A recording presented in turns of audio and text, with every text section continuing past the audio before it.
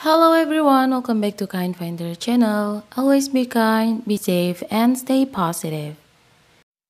In today's video, we're gonna show you how to custom your Telegram chat background, text size, and colors. But before we get started, please subscribe to our channel, Kind Finder, and don't forget to turn on the notification so you will not miss any updates from us. Thank you. And please check on our description box for our other videos and also playlists. Alright, now let's get started. I'm gonna show you how to set or custom your chat background, text size, theme, and also the colors of your chats. So now let's open Telegram app and I'm gonna show you. This is uh, just a regular theme of mine. I'm gonna open a chat and as you can see, this is just a regular theme so if you want to custom your chat background and also the colors, you can go to settings and let's go to setting and go to chat settings here. Tap on chat settings and after this you can see there are several options for you. First you can uh, create your new theme, your own theme and also you can adjust your text size here while messaging with your friends or family. If you drag it to the left, it will get smaller, and if you drag it to the right, it will get bigger. Adjust the size where you can be more comfortable with that text. And also, this is the chat background. There are many pictures in Telegram that you can choose as your background chat. So now let's pick one. I'm gonna pick this one maybe. All right, this one and also it can be set to be uh, blurred or motion and also they say that some background look better when blurred. Yeah so it's up to you if you want to make it as motion or blurred. So if you have done you can set background and let's see and also you can set it uh, select from gallery and also from the color solid color. There are many options many colors that you have here. When you have picked a color you can make it as motion or pattern and swipe left to get many patterns here. There are so many patterns here. This one and also this one. Let's see it one by one and also this one. And when you have done you can press set to apply the background. All right so many uh, pattern many kinds of pattern you can use. And also you can set the intensity of the pattern. You want to make it clear or you want to make it a little bit faded the opacity of the pattern. So it's up to you and as you can see there's a lot. It I haven't finished all because too many because there are too many patterns here. Now let's just check by yourself on your phone on your telegram. And this is how you set the intensity. You can adjust the intensity. And I rather to make it more intense and it looks more uh, clear like this.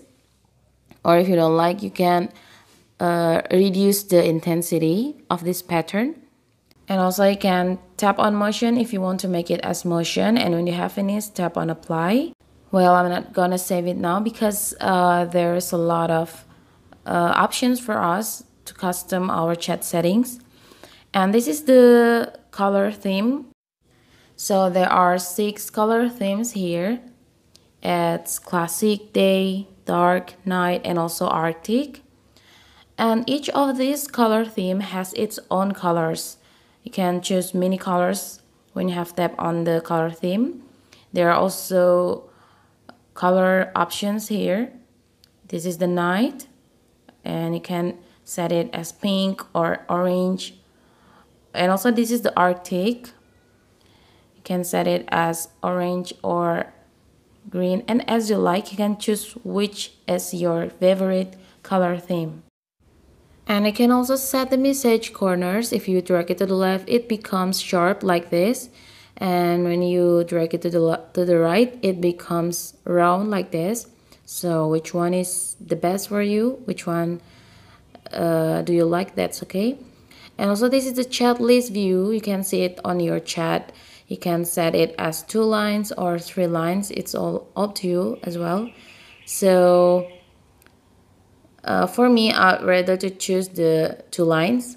And this is the chat list swipe gestures. So when you swipe left your chat you want to take action as archive or read like this. You can choose or pin or you want to delete mute or archive the chat.